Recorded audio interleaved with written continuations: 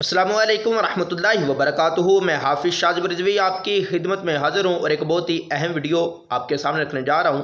Shekau پورہ کے گاؤں بہومان کے رہنے والے غازی زین شہید جو کہ رسول اللہ صلی اللہ علیہ وسلم کی ختم نبوت کا نعرہ لگاتے ہوئے قادیانیوں نے ان کو شہید کر دیا تھا اور وہ خالق حقیقی سے جا ملے جامع شہادت، وہ نوش فرما گئے۔ اور آج ان کا سالانہ عرص پاک تھا، سالانہ ان کا ختم پاک تھا، جس میں نائب امیر پیر سید ظہیر الحسن شاہ صاحب نے وہاں پر شرکت کی۔ ابھی میں وہ ویڈیو بھی سامنے رکھتا ہوں۔ وہاں پر کارکنان نے، قائدین نے، جب وہاں کی جو انتظامیہ ہے، انہوں نے پیر سید ظہیر الحسن شاہ صاحب کا شاندار استقبال کیا۔ استقبال کے بعد پھر وہاں پر محفل ہوئی اور غازی زین ملک شہید کی روح کو اثار اسواب کیا گیا۔ غازی زین ملک شہید یا کوئی عام شخص نہیں ہے، بلکہ یہ وہ شخص ہے جس نے کوئی ذات دشمنی پر نہیں، بلکہ رسول اللہ صلی اللہ علیہ وسلم کی ناموس پر پیرا دیتے ہوئے اس دنیا سے وہ چلا گیا ہے۔ واقعہ کچھ یوں ہوا تھا کہ زین ایک بازار سے گزر رہا تھا۔ ساتھ ان کے اور بھی دوست تھے۔ تاجدار ختم نبوت کے نعرے لگائے جا رہے تھے۔